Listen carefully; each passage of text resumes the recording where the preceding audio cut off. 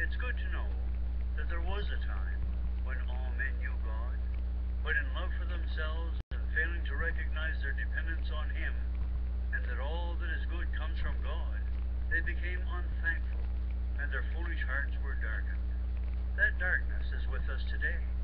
But you and I who know the Lord have been delivered from the power of darkness and have been translated into the kingdom of His dear Son, and we are so thankful. Our free radio offer this week is number 37, Pastor Rockwood's pamphlet entitled, Is Jesus Christ Really Coming Again? The October Thanksgiving edition of the Gospel Standard is now available upon request.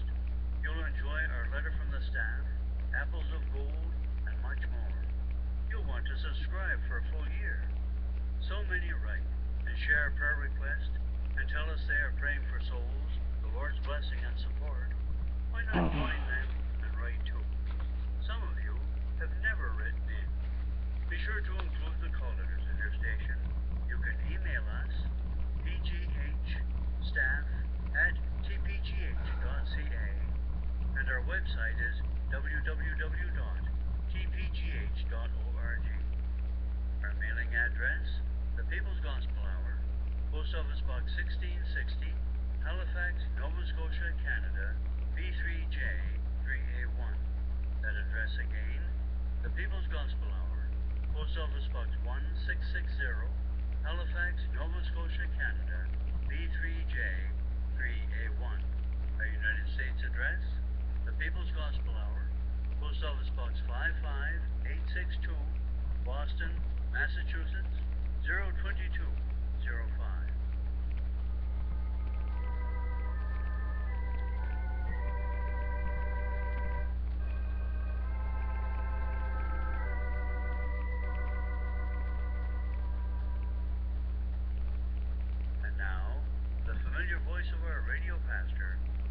Pastor F. Shall we bow in prayer? Father, we pray today for the power of God to be manifested through the preaching of the Word of God. We pray today for great conviction of sin, that men and women might realize their lost condition before a holy God. They might cry unto God, What must I do to be saved? Father, we would humble ourselves in thy presence, knowing that we're nothing apart from thy grace.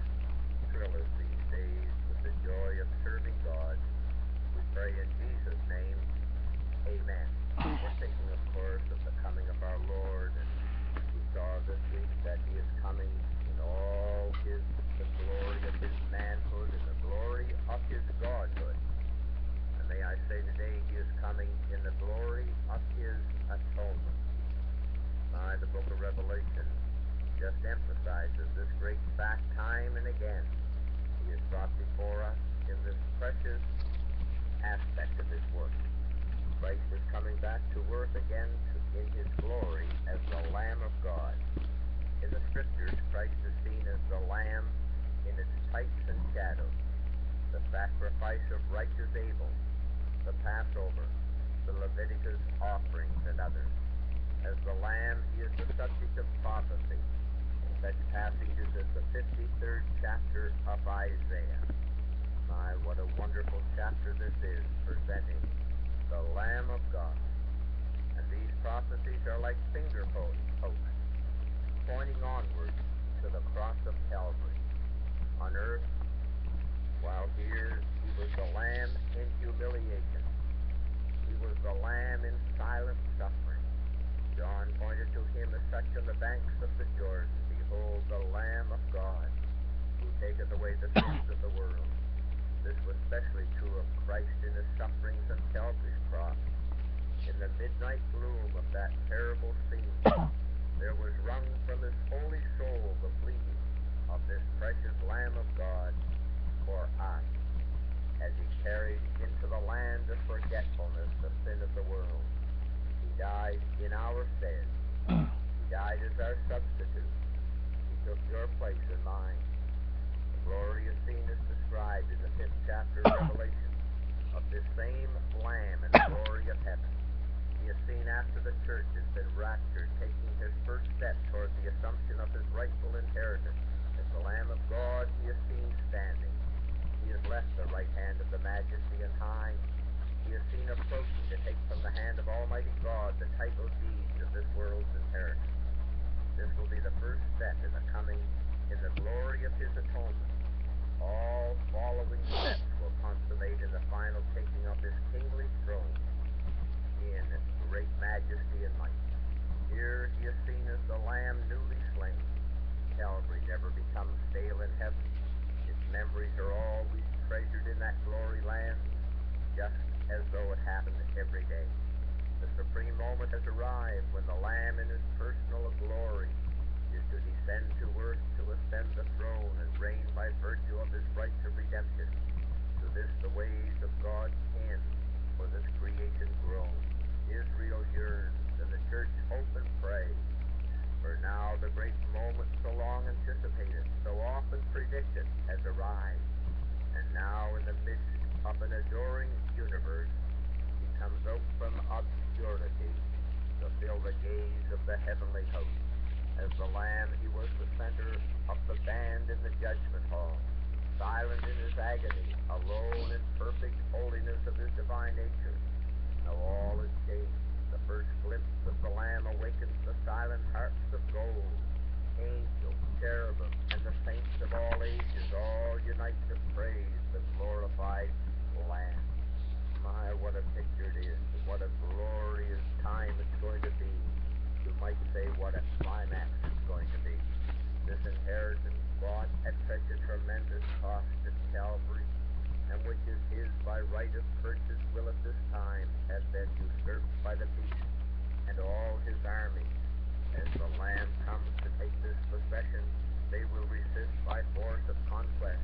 They will be marshaled in red array on the battlefield of Armageddon to contest his claim.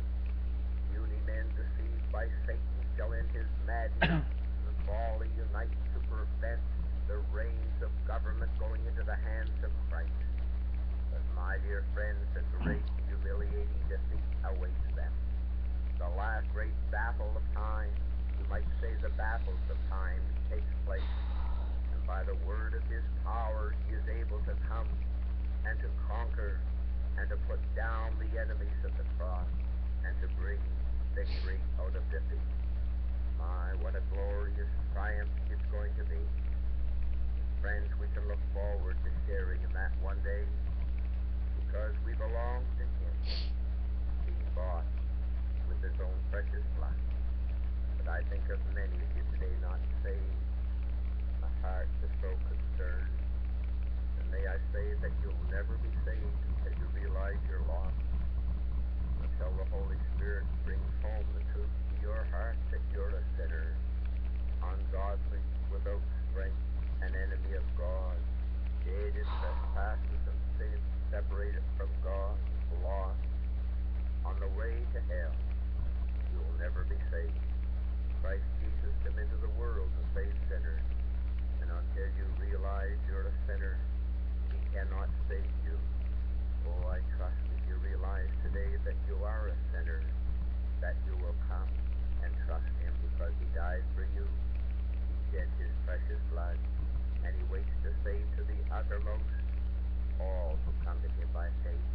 We'd love to hear from you to help you. You pray for our program today.